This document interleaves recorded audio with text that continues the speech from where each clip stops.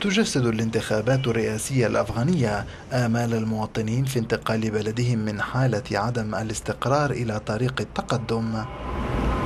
آمال يعكسها إقبال الشباب على ممارسة الرياضة التي كانت محظورة أبان حكم حركة طالبان.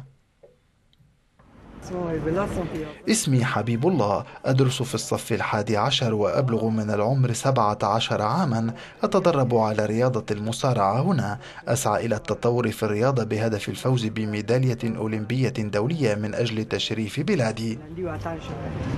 المحاولة الشبابية للارتقاء بالرياضة لا تزال تواجه مشكلات نقص الإمكانات والبنى التحتية كما يقول موفد قناة يورو إلى أفغانستان مصطفى باغ.